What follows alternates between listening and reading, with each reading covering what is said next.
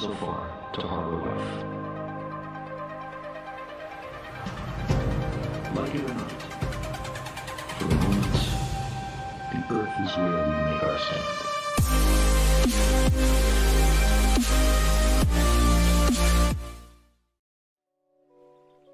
Ah, the Himawari 8. The Japanese owned and operated geostationary weather satellite that is the ultimate bane of the space is fake and Earth is flat crowds. Every 10 minutes for the last 5 years, it has taken a full photograph of the planet Earth from nearly 36,000 kilometers away. Not only that, but it does all of this without any input whatsoever from NASA, allowing us to provide evidence from outside of the entity that flerfs and space deniers so vehemently despise. So, of course, the Himawari is fake, right? Let's take a look at someone who thinks so and see if they can provide any actual evidence for their claim.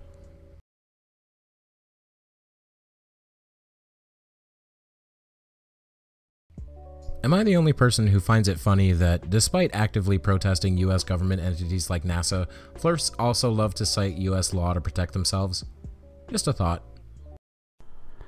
Hey guys, Paul on the plane back here with you. Welcome to episode 2 of Faking Space, now in our second season. Today we're going to focus on the Himawari geostationary satellite, which we're told is something like a mind boggling 22,000 miles away from the Earth, sending us a real picture every 10 minutes. Yes, yes, it is. Only mind boggling to you, buddy.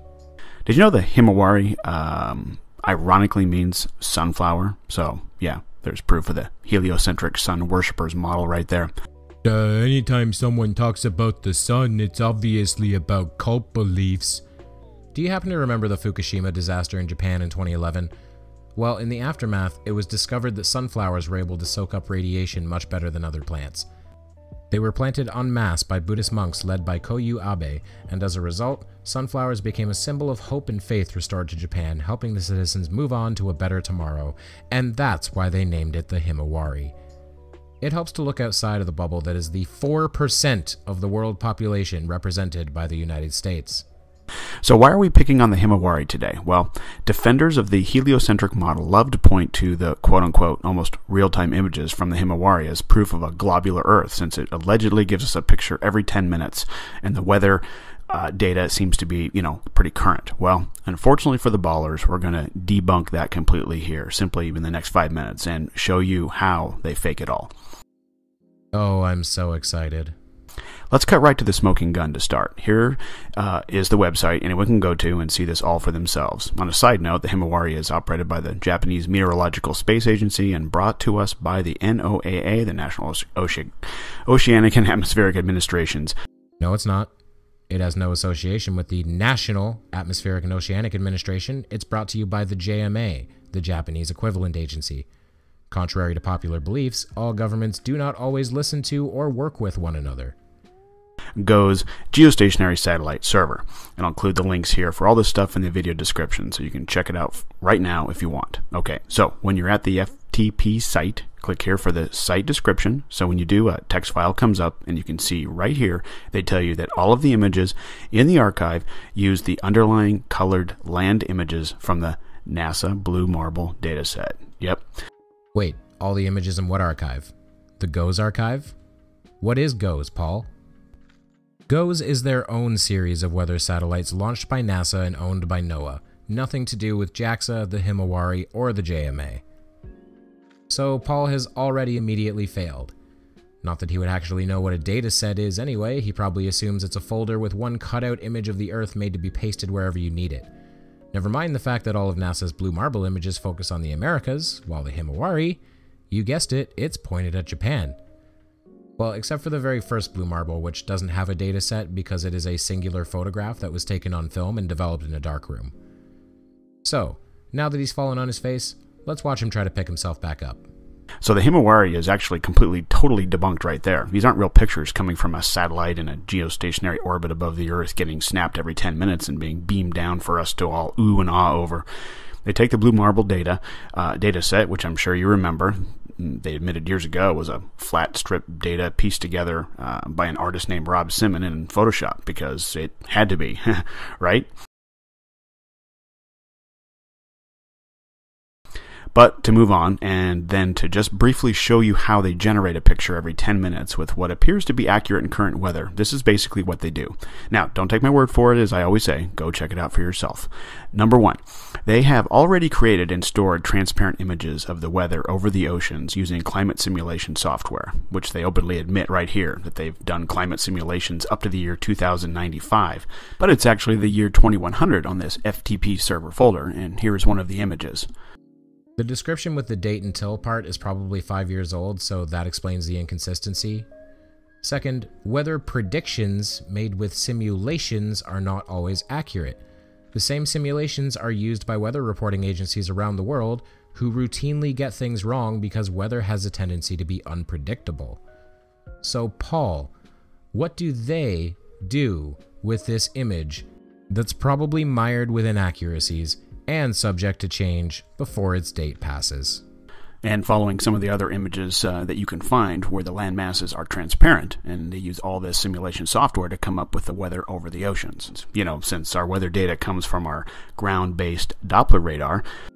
That's a weather prediction map? Really? You know, I thought something about this looked fishy, and I remembered another excellent creator, Blue Earth Thing, check out his channel in the description below, doing a debunk of this same thing. Let's see what he had to say.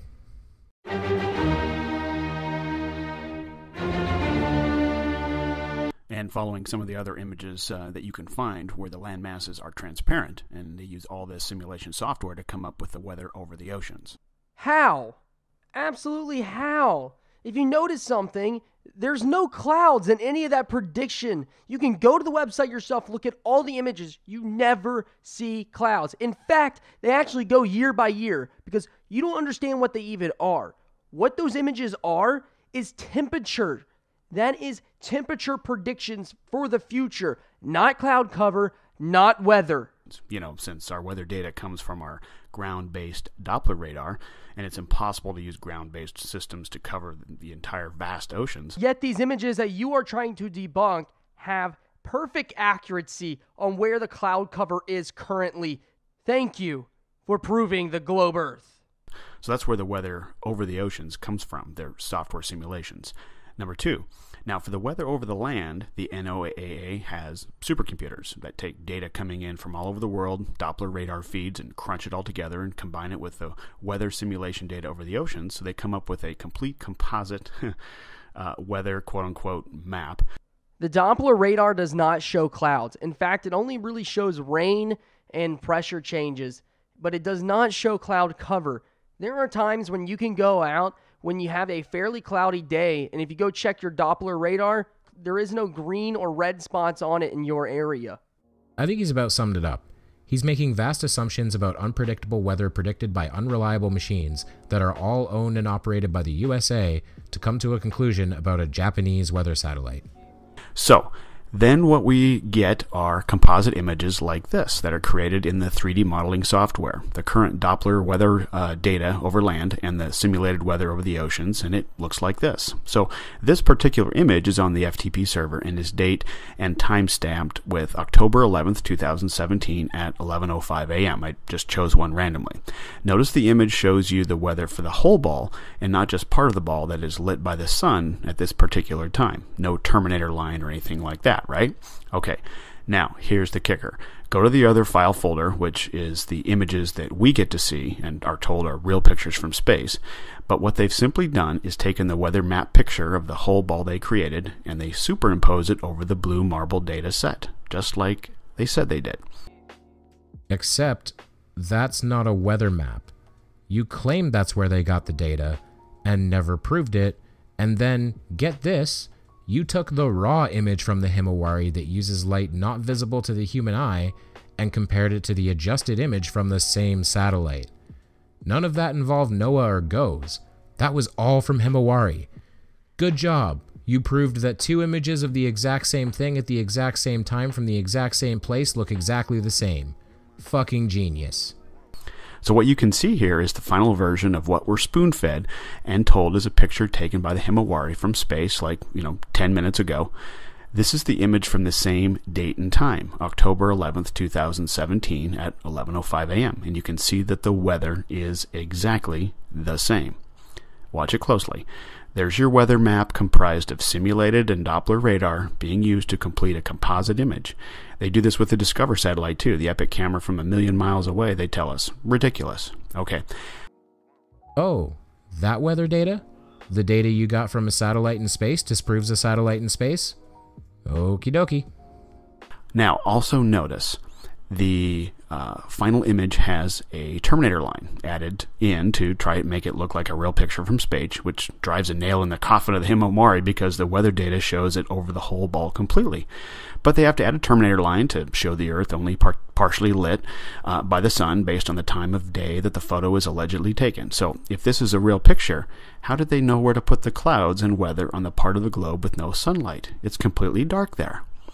It's all right here, guys. They are faking space. Hey, we all fell for it for a long time with their Doppler radar and weather simulation software building a current weather picture and wrapping it around a ball in 3D software and pasting it onto a black background like they do with all the others, adding a Terminator line and calling it a real picture from space. Himawari debunked once and for all. This has been Paul on the Plane. Thanks for watching. Yeah, that's enough of that. Good job not proving anything, buddy. You made a bunch of speculation, then compared two photos from the same source and declared victory. As usual, the space denier method of finding the truth is lazy, incomplete, and lacking any true critical thinking. What a surprise. Grass, still green. Space, still real. Conspiracists, still idiots.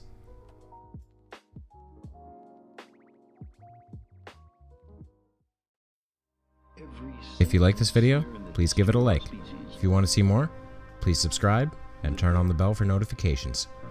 If you want to support me further, consider becoming a member or a patron or checking out my merch or my Amazon links. Thank you, and I will see you over the curve, Space Cowboys. In a vast cosmic arena.